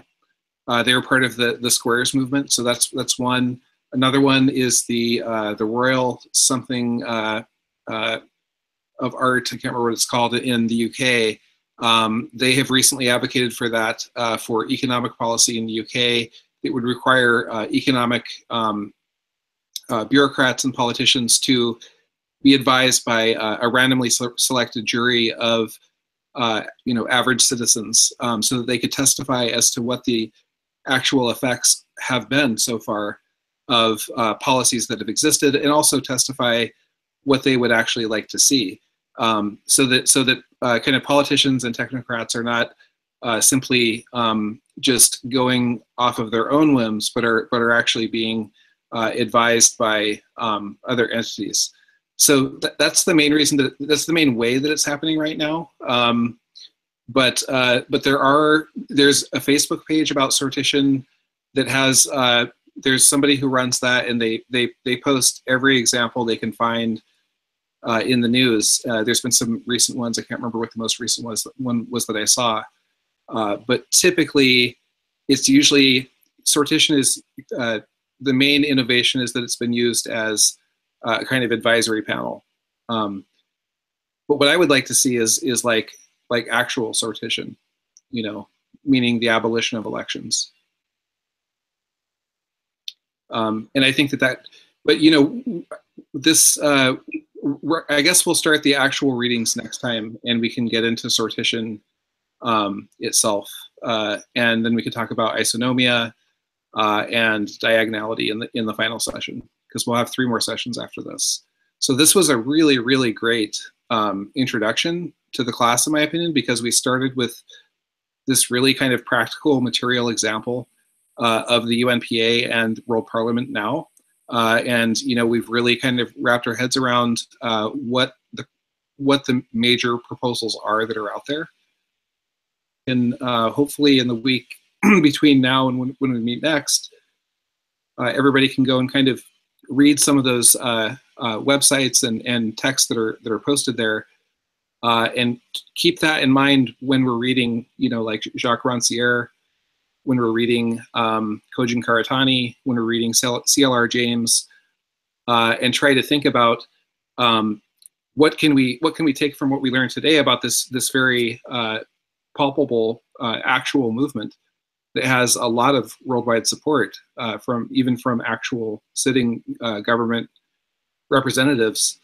Um, how can we kind of bring the practical and the theoretical together and try to uh, and try to think about um, how something like sortition could be used to um, uh, could be used in relation to this. It could work against the flood of academics that are bringing the doubt into politics and philosophy. if that was the idea, it's it's interesting. I, I haven't heard it before. Yeah. Very good. So then. Yeah. It, it, it hit my last thought exactly on the head of the nail. Great. Yeah, well, thank you so much, Fabian, for coming, and uh, it's been really great. And this this really did um, provide a, a, great introduction to the class, in my opinion. Uh, and so next week we'll start the we'll start working on the the, the readings themselves. Great. Um, so is it would be the same readings that were assigned for today? Yeah. Yeah. And the other reason for that too uh, is that you know the syllabus isn't entirely finished. So, okay. Uh, but the two readings for next week are uh, Jacques Rancière's Hatred of Democracy and uh, CLR James Every Cook Can Govern. So uh, Jacob has already prepared uh, for Hatred of Democracy, which is great. Um, and uh, we need somebody to present on CLR James, Every Cook Can Govern. Who would like to do that? It's a, it's a fairly short text. It's, it's, you could probably read the whole thing in 25 minutes.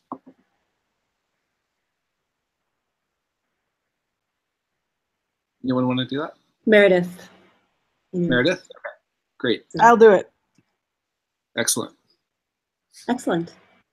Great. Um, and also, by the way, CLR James, uh, I don't know if you know his work, but he he has a lot of other um, really great theoretical texts, and people in his kind of orbit uh, were some of the earliest people to advocate universal basic income from a from a Marxist perspective. Um, so you might want to look at that too. But yeah, especially every can govern is main one. Yeah, the Black Jacobins. Yep. Okay. Um, any final thoughts? Any last words? I can I can end the broadcast now. All right. Thank you, everybody. Uh,